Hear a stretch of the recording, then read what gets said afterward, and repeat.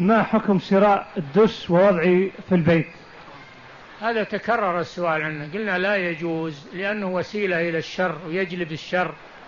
فطهروا بيوتكم من الدشوش. نعم.